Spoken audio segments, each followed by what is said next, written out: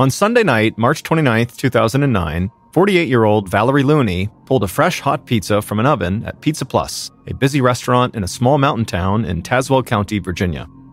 Valerie slid the pizza onto a serving tray and then walked around the front counter and delivered it to a booth filled with local police officers. The officers thanked Valerie by name and then dug into their pizza. Valerie checked on the other diners, who had filled up almost all of the booths inside the restaurant, and then afterward, she headed around the front counter and went back into the kitchen. And there, she saw her husband, Harvey, standing by one of the pizza ovens. Valerie was short with cropped brown hair, and Harvey was a big guy with gray hair and a bushy beard. But despite the huge differences in their physical appearances, everybody who knew them thought they had always looked perfect together. Harvey pointed to the clock hanging on the wall by the oven, and he grinned at his wife. He said it was only a few more hours until their 29th anniversary. Valerie smiled back and then jokingly told Harvey to get back to work. Valerie had been the manager at Pizza Plus for over 10 years, and her husband Harvey had been working for her for the past seven years. The couple knew a lot of people would shudder at the thought of working alongside their spouse day in and day out, but it was actually what Valerie and Harvey had always wanted. In fact, while other people might dream about, you know, making a ton of money or traveling the world, all Valerie and Harvey ever wanted was just to spend as much time together and also with their son Chris as possible. And so Valerie and Harvey working together accomplished a portion of that goal. Harvey got back to work, like his wife had jokingly suggested, and he began to prepare some pizza dough for the next order. As he did that, Valerie stood up on her toes and gave Harvey a kiss on the cheek, and then she headed back into the restaurant's dining room. Pizza Plus was a really popular restaurant in this little town. The entire town only took up a few square miles, and it was surrounded by thick woods and then mountains beyond that. And at times, the people who lived there could feel isolated from the rest of the world. And so Pizza Plus had become almost like a meeting place where everybody could get together and feel connected to their community, at least for a little while. And Valerie and Harvey had really embraced that aspect of their work. The two of them always seemed so happy and welcoming to patrons. I mean, they wanted their customers to feel like they were hanging out with family when they were there. Valerie made her way through the dining room and she checked in with the police officers to make sure their pizza was good. They told her it was delicious, as always. Then Valerie stepped towards the next booth, but she suddenly stopped and stared down at the floor. One of the police officers noticed and asked her if everything was okay, and Valerie smiled and said it was fine, but she quickly turned and marched right to the back of the restaurant. When she got there, she stepped into the supply closet near the back door and she saw her employee, Brian Lee, bent down and stocking some shelves. Brian heard his boss approaching him, so he slowly stood up and he turned around. Brian was in his 20s and he towered over Valerie. Brian asked Valerie what she wanted, and she told him that before he went home tonight, he would need to make sure he mopped the floors in the dining room really, really well because she was just out there and they looked so dirty. Brian slowly exhaled and had to stop himself from snapping at his boss. Then he just said, Okay, I'll mop the whole place after we close. Valerie could tell Brian was annoyed at her, but he was always annoyed when he was at work. For a second, Valerie thought about scolding him, but she stopped herself. Instead, she just thanked Brian and then turned and walked back to the front counter. Pizza Plus stayed busy the whole night until they closed around 10 p.m. Valerie and Harvey said goodbye to the last of their customers, and when the dining room was empty, Valerie walked to the counter and opened up the cash register. And while Valerie counted the money and did the paperwork for the night, Brian trudged out to the front of the store and began mopping, and Harvey cleaned up the kitchen and the back of the restaurant. And at some point, after cleaning for a while, Harvey picked up a large bucket of ice and shouted towards the front of the store to Valerie that he was going out back to dump the ice. Valerie responded by saying that Brian was finished with the mopping and she was almost done with the paperwork, so when he was done, they could leave. Harvey carefully picked up the ice bucket, walked out the back door, and dumped the ice onto a small patch of grass. And after he was done, he set the bucket down and Harvey just bent over at the waist, trying to catch his breath. He hated to admit it, and he would never want his wife or his son Chris to see him like this, but even the smallest physical tasks, like dumping this ice, had really started to wear Harvey out. And so, after standing outside in private for a couple of seconds there, Harvey was about to go back inside when suddenly he heard screaming coming from inside the restaurant. And so instantly Harvey charged back inside, and the second he did, the screaming got louder and louder, and he called out for his wife. But then a second later, the screaming completely stopped, and the entire restaurant went completely silent.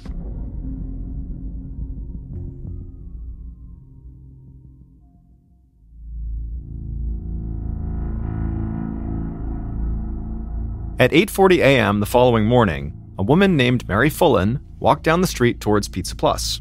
She was on her way to open up the restaurant that day and then work the lunch shift. Mary passed a car wash not far from the restaurant, and she waved to a couple of people outside trying a car. Then she walked a bit further down the street and went around to the back of Pizza Plus. When she got there, she looked down and reached into her pocket to grab her key to the back door. But when she looked up, she saw Harvey laying face down right behind the back of the store. And so Mary ran over to him and began yelling his name, but as she did, she could see he was laying in a pool of blood. Mary shook him like it might wake him up, but she knew he was dead. And so, in a total panic, Mary threw open the back door of the restaurant, barely noticing she didn't have to use her key to get in. And then, once inside, she ran for the phone on the front counter to call police. But before she could even get there, when she was in the kitchen, she looked down and found Valerie, who was also on the floor, blood covering her hair and her clothes. It was obvious that she was dead too. And so Mary began crying and her whole body was shaking, but she still made it to the phone and she dialed 911. The operator told her police would be right there and that for now she needed to get out of the restaurant immediately. And so Mary hung up and just ran out the front door, not noticing that that door too was also unlocked.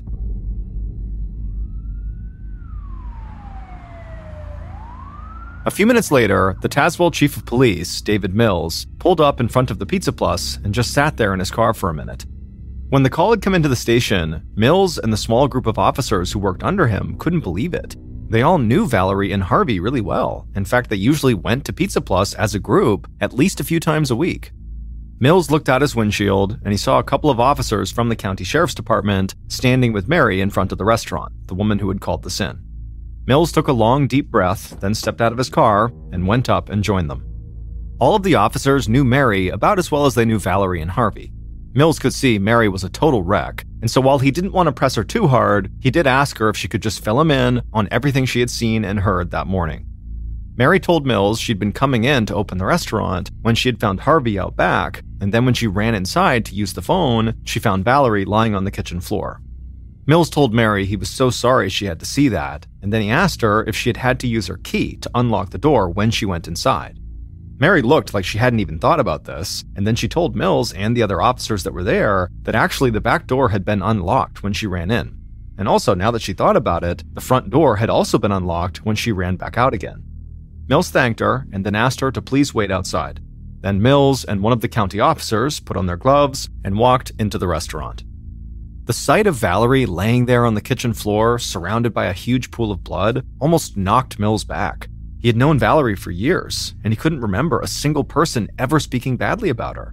It might sound foolish to people outside of the area, but as the manager of the local pizza place, Valerie was a huge part of this community. And sometimes, after a bad day, a good slice of pizza and a great conversation with Valerie could turn everything around. Mills and the county officer went over and knelt down and began to examine Valerie's body, and it was even worse than they thought. Valerie had several horrible wounds on her head and neck. In fact, she had been attacked so violently that she had almost been decapitated. After a moment, Mills and the other officer stepped back from the body, and they both just could not believe what they were looking at. This was not a town where homicides happen very often. And for these two officers and basically all the officers on site, like they had never dealt with anything this gruesome. Mills and the other officer collected themselves, and then Mills noticed that from where he was standing, he could see the front counter. And he noticed at the front counter was the cash register, and the drawer was open, and it appeared to be empty. So Mills's first thought was that somebody had come in to rob the place when Valerie was counting cash and closing for the night. And maybe Valerie put up a fight and the robber attacked her and killed her. And then obviously at some point after that, Harvey must have gotten involved and gotten attacked and killed too. The investigators headed down a hallway to the back door and they stepped outside. And there, they saw Harvey's body on the ground. He did have one major wound, but it didn't look like the attack on him had been nearly as violent as the one on his wife. Mills knew they still needed to do a thorough sweep of the restaurant, but already just the sight of these two bodies made it clear to him that neither the local police nor the county sheriff had the resources to deal with a case like this on their own. There had not been a recorded robbery homicide in the county in 20 years, and as far as Mills knew, there had actually never been a double homicide in this area, and certainly not one that involved this level of brutality. So Mills grabbed his cell phone and he made a call to the Virginia State Police. And then after the call, he and the other officer went back into the Pizza Plus and began searching the entire restaurant. and it wouldn't take them long to find multiple pieces of evidence that seemed to paint a picture of a vicious struggle that had taken place the night before. Mills located blood spatter on the pizza ovens not far from Valerie's body, and he saw bloodstains in the sink, like maybe the killer or killers had tried and failed to clean up after themselves. Then Mills heard the other officer calling for him. The officer was standing a few feet away from the pizza ovens, staring at a fire extinguisher that was hanging on the wall. And when Mills joined him and looked at the extinguisher, he saw all these bloodstains on the bottom of it. And so it seemed like the extinguisher had to have been one of the murder weapons. A moment later, the two policemen left the kitchen and headed down towards the hall towards the back door again, where Harvey's body was. They had already searched the area once, but this time they were going to do a more thorough search. And this time they noticed a mop leaning up against the wall next to a bucket. Mills walked over to it and knelt down, and he noticed in the mop head were several pinkish spots that looked like blood. And what struck both investigators about this mop and the bloody fire extinguisher as kind of odd was that after both items had been used, it looked like they had been placed back where they belonged. They just kind of put them back as if nobody would notice. And so Mills and the other officer began speculating about who would do something like that, and they both agreed that, you know, while this was kind of a flimsy theory, it seemed like maybe it was an employee who was responsible, because an employee would know where the fire extinguisher went and where the mop went. You know, they both seemed to be back where they belonged. And so perhaps just kind of out of habit, you know, they put those things back. A few minutes later, Mills and the other officer started yet another walk through the restaurant. And as they did, they heard several cars pull up out front. Mills stopped what he was doing and went outside, and there he saw members of the Virginia State Police and a state forensics team heading his way. A man wearing a dark suit extended his hand and introduced himself as Agent John Santola of the Virginia State Police. Mills shook Santola's hand, introduced himself, and said he was glad to have some help. Then Agent Santola and the forensics team walked inside the restaurant to take blood samples and look for other possible DNA samples. And as Mills stood there outside, something suddenly hit him he would now have to go tell Valerie and Harvey's son, Chris, that his parents were dead.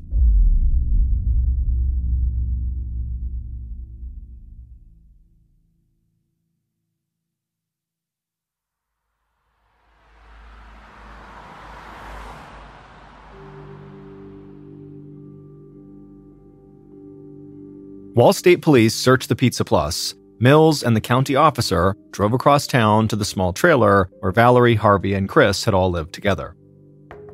When they got there, Mills walked up to the door and knocked, and shortly after, Chris answered. Chris was 28 years old, he wore a black sweatshirt and jeans, and he looked really confused to see two police officers standing there. He asked Mills if everything was okay, but Mills just shook his head and asked if they could come inside. Chris said, Yeah, of course, and he let the officers in. And then once Mills and his partner got inside, Mills just turned to Chris and with a sad look on his face, he told him that unfortunately, both of his parents were deceased. They had been attacked and killed at the restaurant. For a moment, Chris just stared at Mills like he was in total shock. And then he began shaking his head and said, No, that doesn't make any sense. Today, his parents were out of town on a trip for their 29th wedding anniversary. But Mills just shook his head and said he was very sorry, but that could not be true. His parents had not left town. In fact, they had never left the restaurant the night before. Chris eventually sat down and just stayed silent for a couple of minutes, and the officers just waited. And then, with a shaky voice, Chris said he should have known something was wrong when he didn't hear his mother and father come home the night before, and then also this morning when he didn't see them. But Chris said he had just assumed his parents got home when he was already asleep, and that they had left that morning before he woke up to go on their trip. But now he felt like it was obvious there had been an issue. Mills nodded his head and said he was sorry to have to do this, but he did need to ask some pretty pointed questions about his parents, and Chris just nodded. And so Mills asked Chris where he was the night before, and Chris said he had been at work, and then afterward he had come home, hung out for a bit, and then went to bed. Then Mills asked Chris what his relationship was like with his parents. Chris said their relationship had been good. He had been forced to move back in with his parents after going through a divorce, and he felt bad about it, but his mom and dad seemed happy to have him at home. After that, Mills asked Chris if he could think of anyone who might have had a grudge against either of his parents. And Chris just shook his head and said, absolutely not.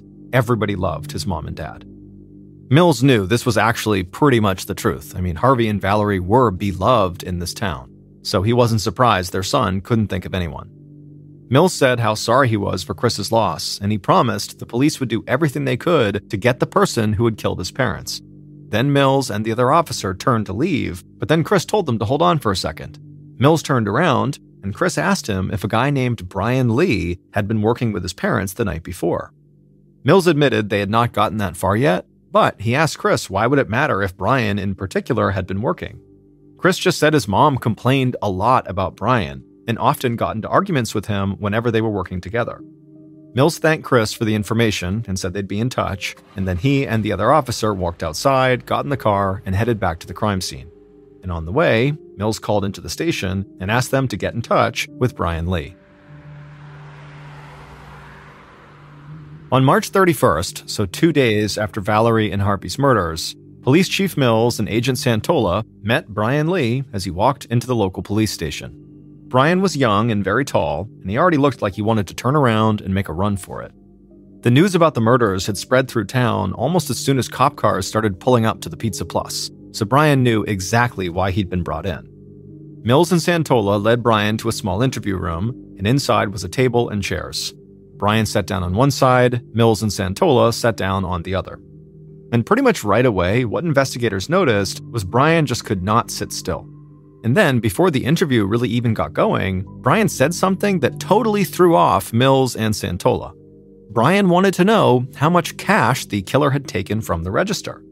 Now, nobody had told Brian that the register had been robbed, but the investigators knew this news could have gotten out pretty easily. Still, they were surprised that Brian's first question, when two people he worked closely with had been murdered, was about the money in the register. Agent Santola said they couldn't discuss those details with Brian.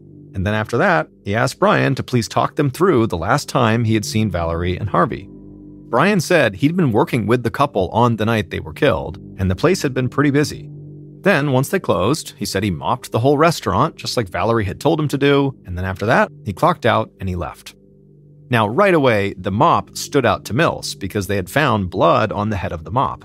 And so Mills, as discreetly as he could, asked Brian where he left the mop when he left and Brian quickly said he left it close to the back door, where it was supposed to go. Mills followed up this question by asking if anybody else was still at the restaurant when he had left. Brian seemed confused, and he said, Yeah, of course, Valerie and Harvey were still there. Valerie was doing paperwork, and Harvey was waiting for her to finish. After he said this, Santola just stared across the table at Brian, not saying anything, and this seemed to really make Brian uncomfortable. But Santola was not actually trying to intimidate this kid or anything, he was just trying to size him up to see if he fit the profile of the murderer. Brian was young and certainly looked strong enough and big enough to overpower the older married couple. But Valerie's murder had been so violent, so gruesome, that Santola really believed the killer had to have been harboring some deep anger against her. This just didn't seem like a crime that could be committed by a stranger. Santola finally broke his silence and asked Brian if he'd recently had an argument with Valerie, and Brian responded by laughing. Santola and Mills looked at each other confused. This was not the response either of them had expected. But then Brian explained and said that he and Valerie had a whole bunch of arguments all the time, because in his opinion, Valerie was a really tough manager and she was always riding him at work. And sometimes he just didn't want to put up with it, and so he snapped back at her and they'd get into these arguments. But then Brian noticed the investigator's reaction to his laughing, and he quickly stopped laughing and got a much more serious look on his face. And then he clarified by saying that, you know, he might not have liked Valerie as a boss, but he would never hurt her. That was crazy. A lot of people don't like their bosses, but they don't kill them. Santola and Mills would follow up with a few more questions, and then eventually they would tell Brian he could leave. But as soon as he was gone, they both agreed that Brian was definitely a primary suspect. Over the following days, local, county, and state investigators looked further into Brian's background. And as they did that, they waited for results from tests that the crime lab was running on the blood samples that had been found at the crime scene. But while they waited, Santola and Mills did not want to overlook any possibilities. They both believed the most likely killer was somebody who worked at Pizza Plus, even if it turned out not to be Brian. So they went ahead and met with every single current employee. But when they spoke to Mary, the employee who had actually found the two bodies and called 911, she said she thought there might be another possibility. She said the car wash that was right by Pizza Plus was one of the main spots in town where people bought and sold drugs. And Mary said some of these buyers and dealers, who were pretty easy to spot, came into the pizza place quite often. And she said one of those people in particular, a guy named Homer, was really creepy. In fact, Mary and Valerie talked about how creepy Homer was. Mills got some information about Homer from Mary and then thanked her for the help. Now, Mills knew there had always been issues with drugs around that car wash, but these were not big time drug dealers or anything. And so the idea that one of them had been crazed enough to rob the Pizza Plus and brutally murder two people inside seemed far fetched. But still, Mary had said Valerie had been creeped out by this Homer guy, and so Mills and Santola couldn't ignore that. The investigators would track Homer down at the car wash, and at first glance, he really wasn't scary or angry or creepy or anything. He was just really quiet seeming. Santola asked Homer if he had recently spoken to Valerie or Harvey, and Homer would say he had seen both of them at Pizza Plus on the night they died, but he had not spoken to either of them. But Mills quickly jumped in and said that didn't make sense, because if Homer really went into the restaurant that night, he definitely would have talked to one or both of them when he was ordering or getting his food. But Homer shook his head and said he actually didn't go inside the restaurant. He said he had just sat in his car in the Pizza Plus parking lot, and then through the window, he had seen Valerie, Harvey, and all the other patrons and employees inside the restaurant. Mills was confused and asked Homer, like, wait a minute, you just sat in the parking lot watching people eat pizza? And Homer, whose expression was totally neutral, just nodded and said, yeah. And then he said after a few minutes of sitting there watching people eat, he drove home. Santola and Mills didn't know what to make of Homer. I mean, they tried to ask him questions to figure out why he was doing that and did he do this often, but really, Homer didn't offer much of anything. He just seemed incredibly creepy.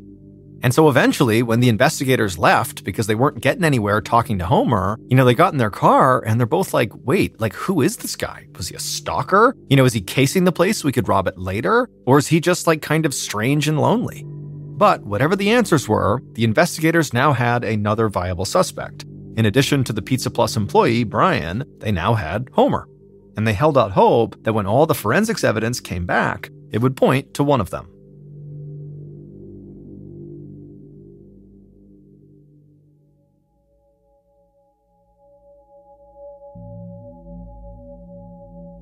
On April 3, 2009, so a week after the murders, Pizza Plus was once again filled with laughter and conversation. The crime scene had been cleared, and now this was a gathering place once again. But this time, the community had come here not to eat pizza, but to pay their respects to Valerie and Harvey.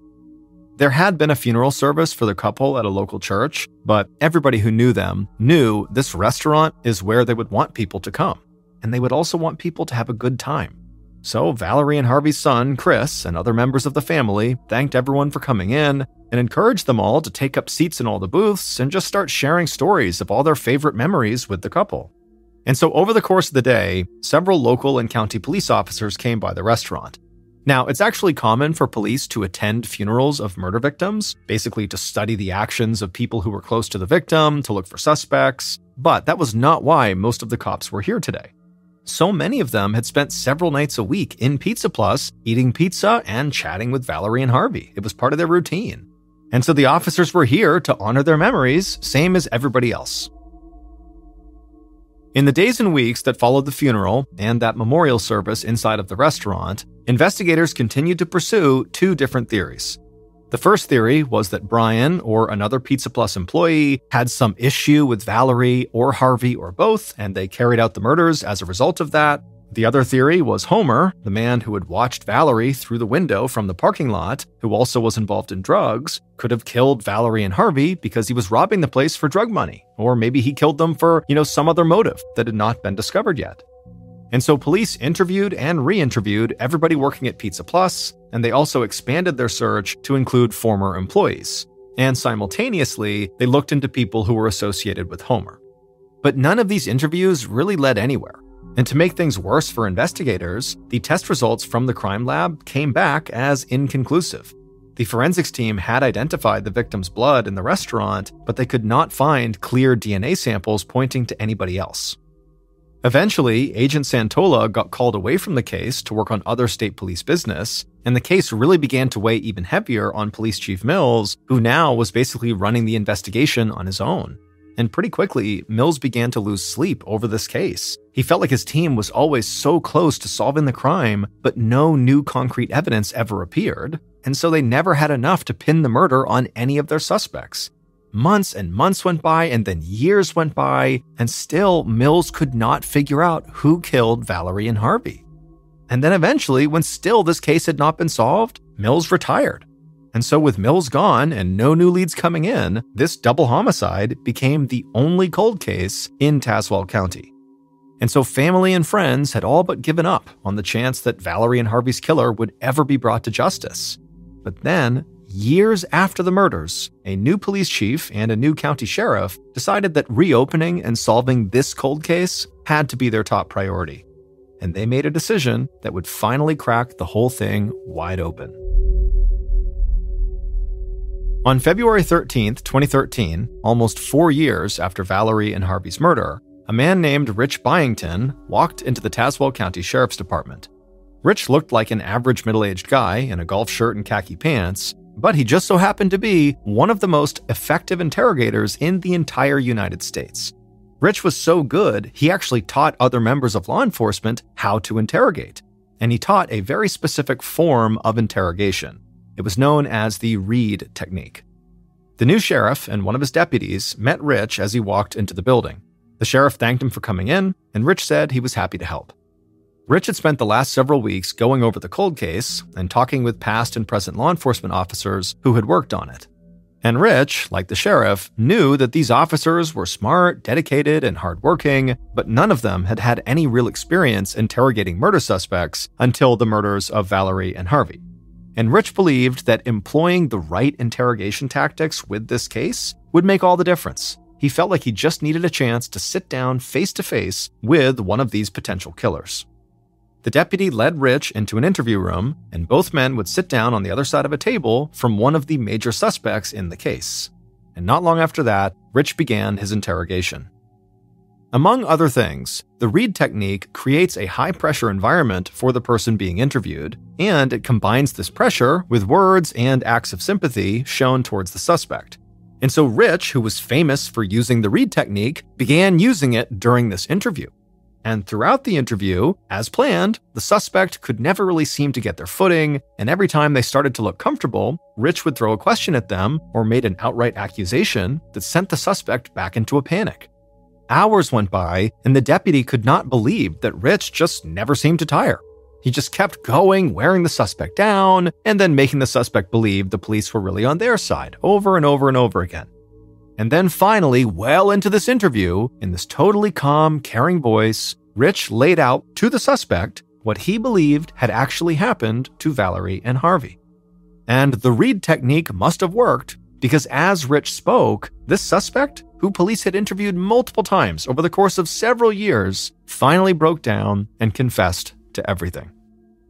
By the time Rich left the sheriff's department, investigators finally knew who had murdered Valerie and Harvey Looney.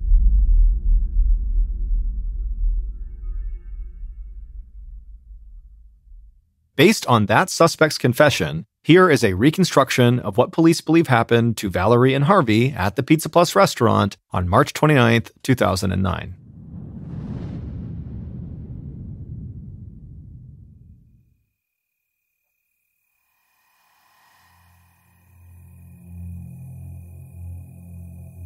That night, around 10:30 p.m., the killer walked across the Pizza Plus dining room towards the front counter.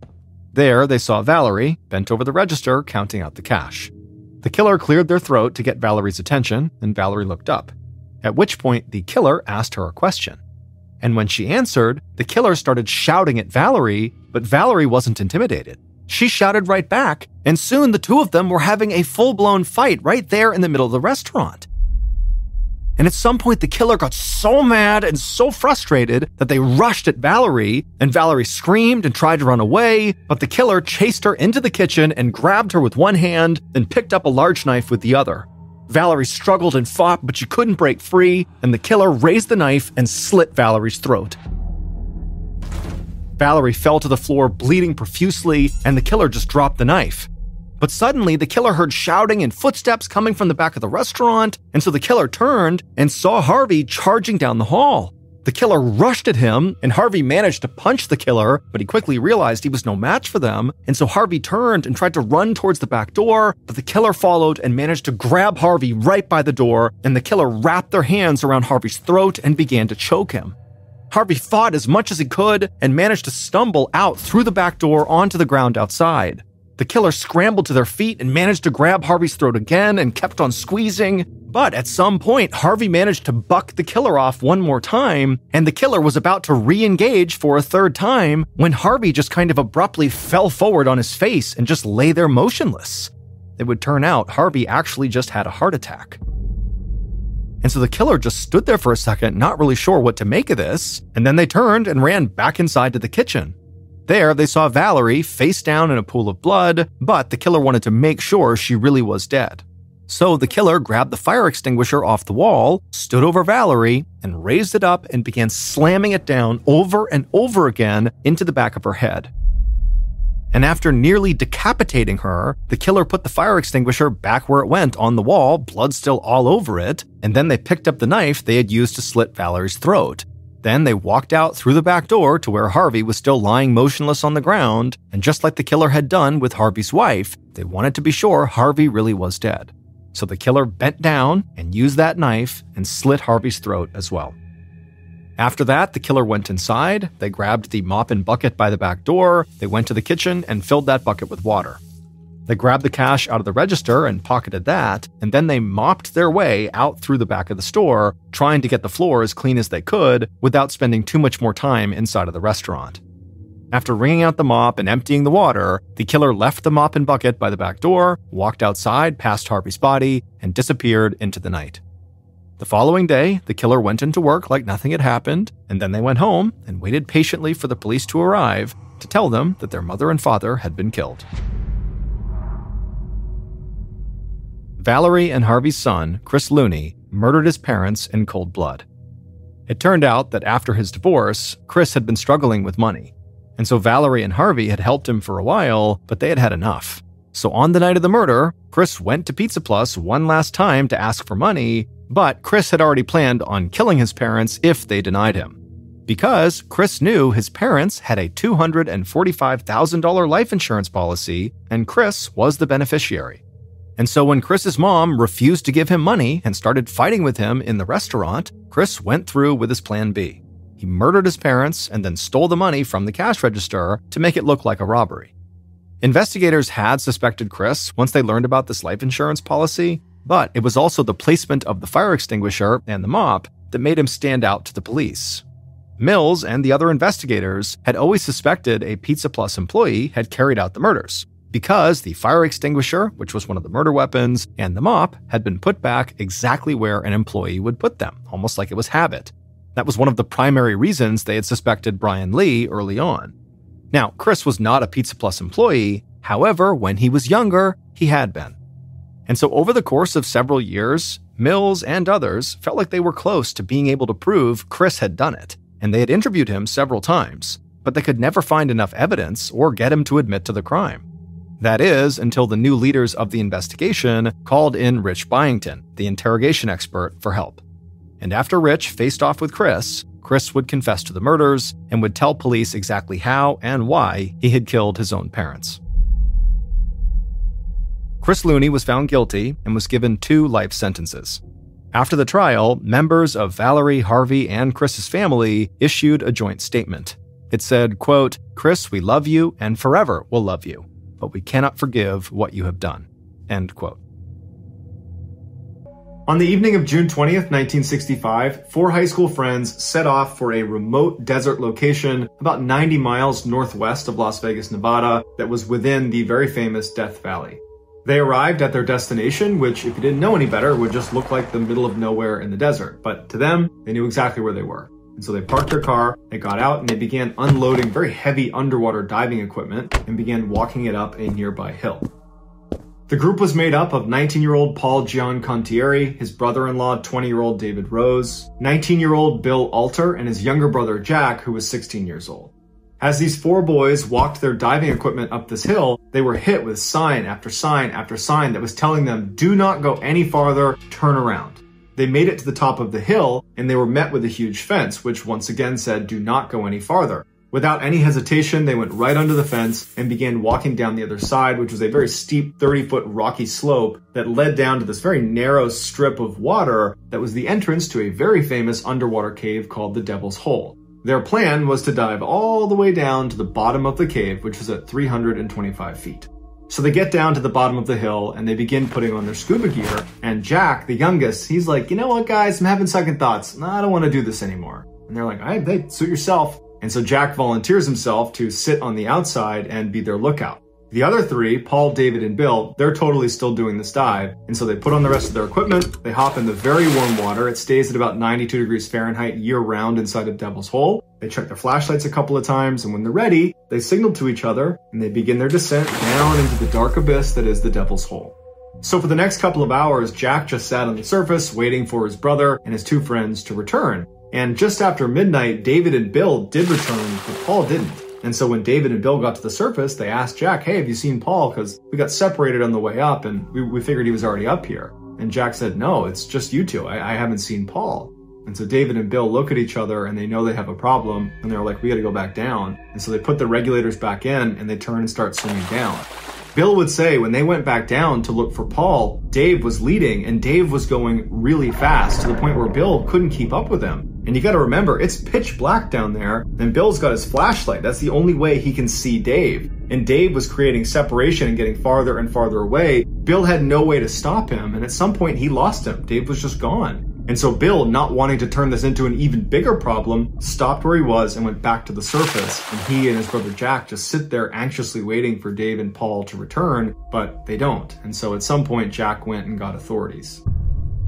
When the police got the report about the two missing divers inside of Devil's Hole, I'm sure on some level they were like, that's why the signs are there. You're not allowed to dive in there. But they put that aside and instead they contacted a guy named Jim Houtz, who was a professional diver who regularly dove inside of Devil's Hole, so he's very familiar with it. And they got him on scene within a couple hours to go looking for these guys. And originally, the hope was Paul and David had found their way into a section of Devil's Hole called Brown's Room, which was this big air pocket that perhaps in an emergency situation they had found their way in there and now they're trapped.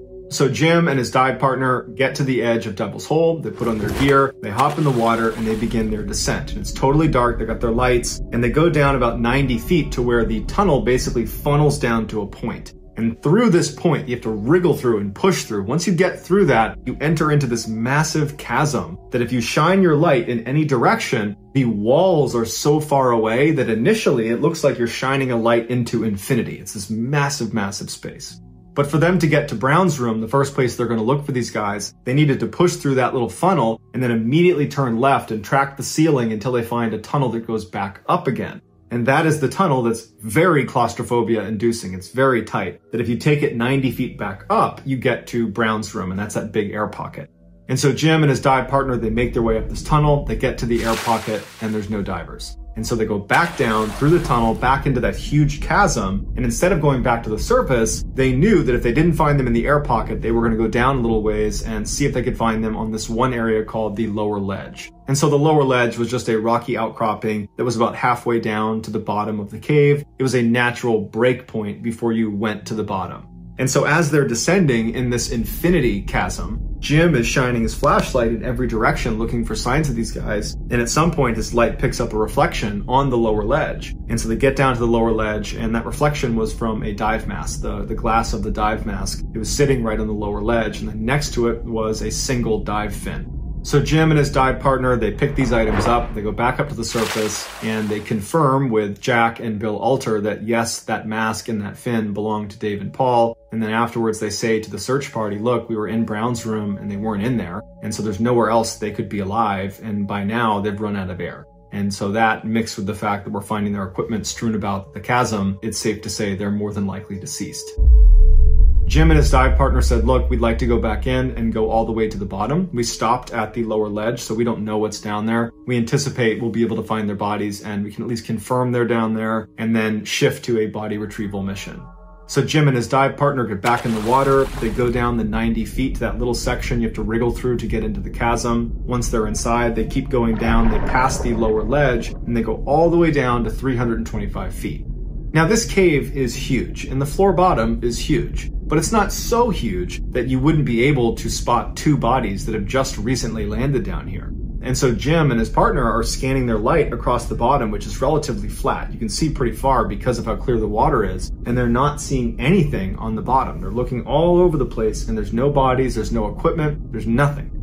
And they're thinking, how are we missing this? How are we not able to see this? And it was at this point that Jim noticed a little hole in the bottom of the cave floor, barely big enough for a full-size person with tanks to fit through, that he hadn't seen before. And so they make their way over to it, and Jim says right when he was on the edge, he felt a fairly strong current being pulled past his legs down into this hole. It was almost like this was a drain on a bathtub, and someone had pulled the plug, and now all the water is draining into this little hole. And so Jim and his dive buddy kind of push themselves back to make sure they don't get sucked in. And Jim pulls out a weighted piece of string that goes out to 932 feet. And he would use this if there was ever a tunnel that he wanted to go down and he wanted to size up how deep it was. He would extend the line and he would let it fall until it hit something and then he would stop it. And on the line were marks of how deep it was. And so he let this line go inside of this hole and it went all the way down to 932 feet without touching any surface, meaning it's at least 932 feet deep from that point down. So Jim just pulls his line back up and he looks at his dive partner and he's like, yeah, no, we're not going down there. Not only were they not equipped to go that deep, they also both knew if we go in this hole, there's a good chance we won't be able to get back out again because the current is so strong. So Jim and his dive partner go back to the surface and they say, look, we couldn't find their bodies. But what we think happened is they developed nitrogen narcosis, where you're in this sort of drunken state. You don't really know what's going on around you. And that suction slowly pulled them into this hole and they weren't really aware of their surroundings and they didn't stop themselves before they got pulled in. And then it was too late and they were pulled down into oblivion. To this day, they've never found their bodies, and scientists still don't know how deep that hole is. But in 2012, there was an earthquake in Mexico, so 2,000 miles away from Devil's Hole, that caused a tsunami to come through Devil's Hole. I don't know how that actually works, but the scientists say that's what happened. And so scientists believe that hole leads to an underground ocean that connects to other parts of the world as far away as 2,000 miles. Today, diving is still strictly forbidden inside of Devil's Hole unless you're a scientist and they stay far away from that hole at the bottom.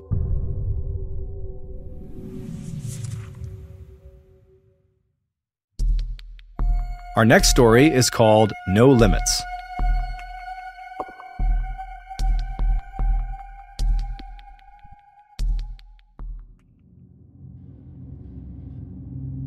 Freediving is one of the most dangerous sports in the world even though technically pretty much anybody who's ever swam before has then also free dived because all free diving is, is diving underwater without the use of a breathing apparatus like a scuba tank.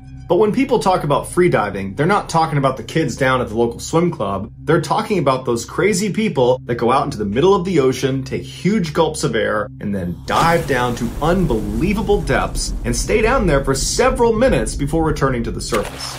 And within this already extreme sport, there's an even more extreme version of it called no limits. Instead of the diver taking that big gulp of air on the surface and then turning around and finning themselves down to depth or pulling themselves down on a weighted rope, in no limits freediving, the divers are allowed to use whatever they want to get as deep as they can possibly handle. Again, the only rule is you can't use a breathing apparatus. The most common no limits technique is to grab hold of this sled that is connected to this bottom weighted vertical cable, and the freediver holds onto that sled, it's released from the surface, and the sled rockets down to whatever their desired depth is, and the diver just holds on, and then once they reach the bottom, the diver then turns a switch, which shoots air into this big balloon that's attached to the sled, and once the balloon is filled enough, it will pull the sled and the diver who's hanging onto it back up the cable, back up to the surface. Normally, a no limits free dive using this technique takes approximately three minutes start to finish. The reason no limits is considered a more extreme version of freediving is because it allows the divers to go to these extraordinary depths that they physically are not capable of getting to on their own. We're talking about over 100 meters below the surface. There's just no way a person can just kick themselves down there. You would need the sled. And then conversely, you would not be able to swim 100 meters back up to the surface before you drown. You would have to use that balloon. And so in no limits freediving, when you go down to these crazy depths, if your equipment fails, it's usually fatal. On October 12, 2002, 28 year old Audrey Mestre was sitting on a floating platform off the coast of the Dominican Republic. The French native No Limits diver was mentally preparing herself for what she was about to do. Audrey was one of the best freedivers in the world, and this day she was trying to become the best freediver in the world by breaking the world record for the deepest depth achieved by a no limits freediver, which was 170 meters. And that record was actually held by her husband, Pippin Ferreras. But as she sat on that platform, doubt must have crept into her mind because storm clouds began to roll in, and in the world of no limits freediving, where so many things can go wrong, there's no reason to add in another risk factor like bad weather. It could affect the people on the surface that are trying to support you, it could affect the line that you're using to bring you down to depth. It's just an unnecessary risk. Also, Audrey was using a new piece of equipment. She had a slightly thinner cable that was going to bring her down to the bottom that her sled was attached to, but she didn't know if it would work for this deep of a dive. And her husband, who was in charge of safety for this dive, had been criticized in the diving community for rushing this record attempt, that he hadn't done enough preparations. There weren't enough medical staff. There wasn't enough standby divers that were going to be on site or on shore at the time of this dive. And Audrey was aware of these criticisms because her husband was regularly criticized in the no limits freediving world. Because six years earlier, he had had two separate people on staff die during different diving accidents. And people accused Pippin of being very reckless. But despite all of these red flags and reasons not to do this dive on this day, Audrey was really confident and wanted to do this, and so she signaled to her team that she was ready to start. She zipped up her yellow wetsuit and then checked her sensors and video camera she'd be using for the dive, and then she put on her fins. Meanwhile, her husband checked the balloon that was there to inflate and bring her back up to the surface. And because this piece of equipment was so crucial, Pippin insisted he was the only one that could touch it, even though normal procedure was that at least two other people would inspect the balloon before the no limits dive. But regardless, after Pippin inspected the balloon bag and determined it was good to go, he signaled to Audrey to tell her it was time to start. She slipped off the platform and waded her way over to the 200 pound sled that was going to take her the equivalent of two football fields below the surface. Just before Audrey gave the final go ahead to actually release the sled and begin this dive, she did a procedure known as packing, where freedivers basically take a full breath of air in and then gulp down additional bits of oxygen to pack their lungs full. And then when Audrey was done with this process and was ready to go, she did give that final signal. They released the sled and she began rocketing down towards the bottom of the ocean. If all went to plan, she would be back on the surface in three minutes. Audrey's descent was going perfectly until she hit the 164 meter mark. Now, because of the bad weather on the surface and all the rough water, that new lightweight cable she had, it was too light. And so the waves caused it to sway. And down at 164 meters, that swaying caused kinks in the line itself. And so as the sled was coming down, it caught one of those kinks and stopped at the 164 meter mark. And so Audrey just had to sit there for 30 seconds until finally that kink straightened out and she was able to continue down past the record setting mark of 170 meters. Now, that 30 second delay might not have mattered if everything else in the dive went perfectly, but unfortunately, it did not. Once Audrey had set the record by hitting 171 meters, her sled came to a stop, and now it was time for her to go back up to the surface. On the video, you can see Audrey begins following procedure, same as always. She reaches over and turns the valve that's supposed to inflate the balloon that's going to bring her back to the surface. But after she turns the switch, nothing happens. The balloon does not inflate. For a second, you can see a hint of panic in her body language as she's almost out of breath. She's already had that 30 second delay at the beginning and she's pressing up against that three minute mark and she needs to get to the surface right now. But she stays calm, she reaches over, and she turns the switch again to see if maybe she hadn't turned it all the way the first time. But again, nothing happens. At this point, a standby diver noticed the sled was not moving up when it should have been, and so he rushed over and jammed one of his extra hoses with extra air up into the balloon and tried to inflate it himself. But there wasn't enough air coming out of this tank for it to fully inflate, and so the sled began to move painfully slowly up in the water column. Now you would think this standby diver, who did have all sorts of extra air, would just give the mouthpiece to Audrey to let her breathe on that. Forget the world record attempt, let's just save her life. But unfortunately, Audrey and the standby diver knew that because she was so deep, the pressure was so immense on her lungs that it actually constricted her lungs to the size of oranges. That if she took even a tiny gulp of air at depth, that air would expand so dramatically on the way up, it would kill her. And so all Audrey could do was cling onto the sled and very slowly ascend and try to hold her breath as long as she could, but she knew at some point she was going to drown. And the video shows her absolutely stoic, just riding that sled, knowing that that's about to happen. On the surface, when the three minute mark came and went and Audrey did not surface, her husband immediately threw on scuba gear and leapt in to try to save her. And by the time he got down to her and brought her out of the water, she had been underwater without air for 8 minutes and 40 seconds. When she was put on the boat, she had a pulse, but there wasn't a doctor on standby to treat her right away, and Pippin had kept her underwater for a couple additional minutes, trying to resuscitate her underwater. Audrey was ultimately rushed to a hospital where she was later pronounced dead. The cause of death was drowning. Some believe Pippin, her husband, had intentionally sabotaged her dive in order to kill her, but the official investigation determined her death was accidental.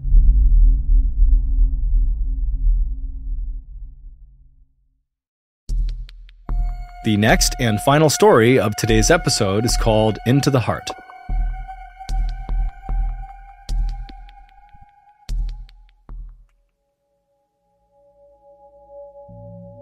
There's an island off the coast of Croatia called Šolta.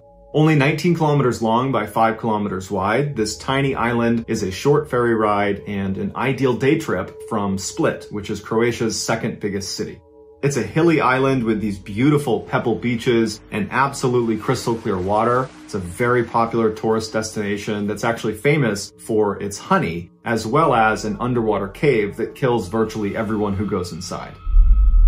On September 10, 2002, 31-year-old Miroslav Kuklis was enjoying a vacation with friends on Šolta Island. It was a little after 8.30 in the evening when one of his friends suggested they go scuba diving.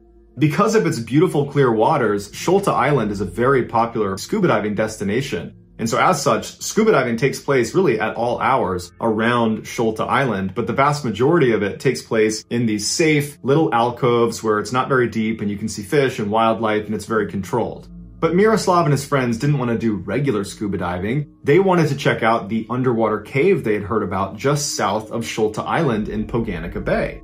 They had heard this cave was extremely dangerous and only expert divers were allowed to go in there. And even though they were not expert divers, they were barely novice divers, they thought, you know what, how bad can it be? Let's go check it out for ourselves.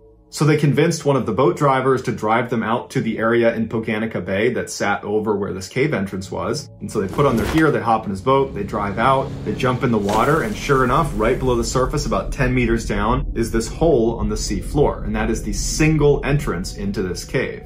When you go in this hole, you have to go down head first because it's so tight. And once you go down about 10 meters, you reach this junction where to one side, it leads to the shallow gallery, which is the space that goes down to 36 meters, and there's no other caves or entrances or anything off of it. It's just kind of like a chasm inside of the cave. From the junction, if you go the other way, it brings you to the deep gallery, which is just a bigger version of the shallow gallery, and it goes down to 57 meters. Inside of the deep gallery, however, at the very top on the ceiling, there is a very thin air pocket.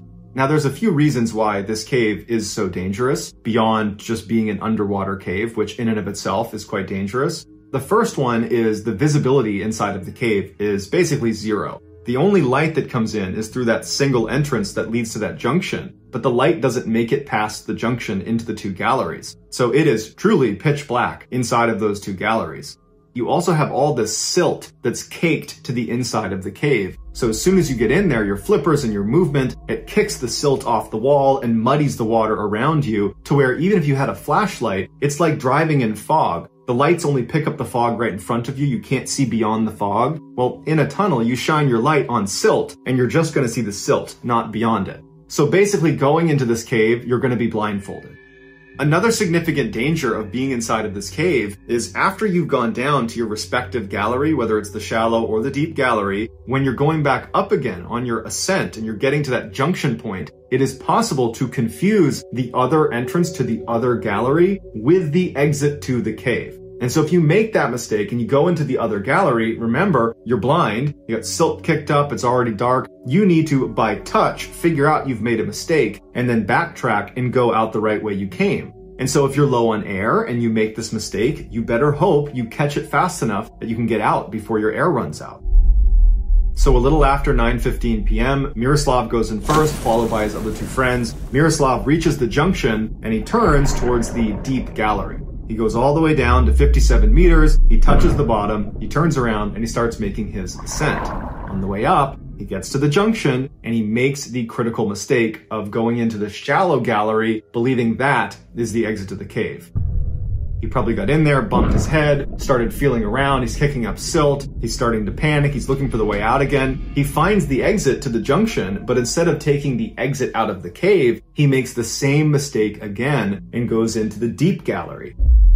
And now he's in the deep gallery, he's feeling around, he's running low on air, and based on his dive computer, he was fumbling around in there for quite some time. And having spent some time underwater myself in the pitch black as a Navy SEAL, I can tell you that it's very easy to imagine, you know, oh, it'd be so easy to stay calm and have your bearings and know where you are. But when you are completely in total pitch black underwater, it actually is hard to tell what's up, what's down. You can feel the pressure in your ears. That's a good way to tell where you are in the water. But, you know, realistically, it's totally possible to get completely disoriented underwater. And my guess is Miroslav was totally disoriented. And so he stopped and he's trying to make sense of what's happening. And at some point, Miroslav must have looked at his air gauge and realized, I'm out of air now and he made one last push to try to get to the surface, but he hit a ceiling, and that's when he realized, based on maybe the touch and feel, maybe he took his gloves off and he was feeling around, he felt that he was in the air pocket, that thin amount of air that sat right at the top of the deep gallery. He must have realized at this point that there was so little air down here that he probably only had maybe a few minutes that he could be down here breathing before he was going to drown. And in terms of making his ascent to the surface on a breath hold, the only place where there's an air pocket is the deep gallery. And so probably he knew that. And so he's thinking, I'm, you know, maybe 40, 50 meters under the surface right now, and I can barely catch my breath now. I'm not going to be able to hold my breath to the surface. And so staring down a certain horrific drowning death, he pulled out his dive knife and he plunged it into his heart. And when they did his autopsy later, it would show he did not drown. He died because he had a knife in his heart. Back on the surface, the other two divers had gotten out successfully and they're in the boat and they're waiting for Miroslav. But after over an hour went by and he hadn't surfaced, they contacted the police. The police show up and they send two special divers down into the cave to look for Miroslav. One of those divers was a 25 year old named Oliver Maric. And so these two divers go down and they're looking for Miroslav and they can't find him and they're running out of air. And on their ascent, Oliver Maric makes the same mistake that Miroslav did and gets trapped inside of the shallow gallery. The other diver initially made that mistake but managed to get out again, but Oliver went back and forth between the deep and the shallow gallery until he too drowned in that cave. It would take three days for the police to find and remove Miroslav and Oliver from this cave. And to this day, the police warn divers not to go in this cave unless they're experienced enough to be going in there. But year after year, inexperienced divers try their luck inside of this cave and they make that same mistake. They get trapped and they die.